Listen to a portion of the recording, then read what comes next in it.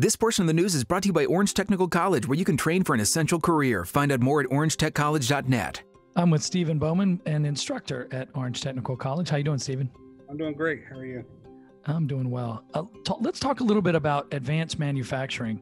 Uh, what types of jobs are out there for folks?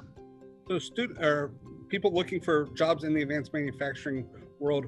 Um, there's a lot of jobs out there. Not only are you looking at your manufacturing industries, you know, your Pepsis, your Frito Lay's, your Coca Cola, um, paper manufacturers. You're also looking at the logistics chains out here, the, the FedExes, the UPSs, the USPS. Um, all of those use the same technology, whether it's a conveyor line to move a package around or a conveyor line to move a product through it.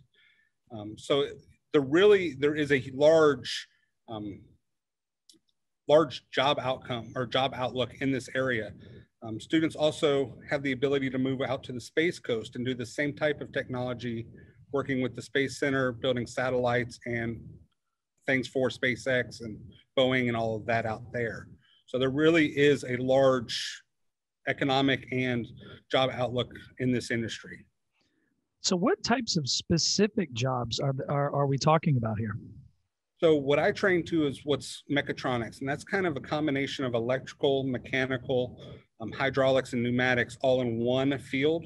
So students in that field are your plant technicians, your maintenance people that come in and maintain and make sure everything's operating when you know you order something on Amazon. How does it get from your order to the to the truck going out the door? And we're the guys that kind of make sure that the plant runs smoothly throughout the day. So these are great jobs with great uh, salaries, correct?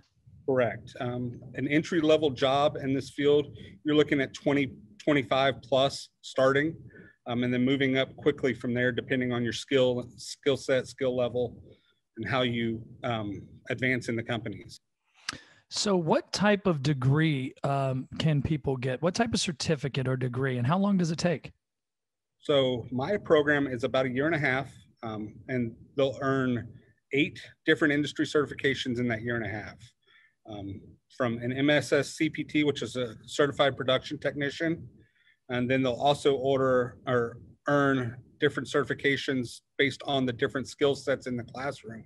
So they'll learn earn certification hydraulics, certification pneumatics, uh, process control systems, electrical systems, PLC programming, industrial robotics. They'll earn a lot of different certifications as they move through the program to make them a well rounded technician when they leave here. Stephen, it's great talking to you today, and I'm really excited to hear about all these new types of jobs that are coming to our area. Thank you.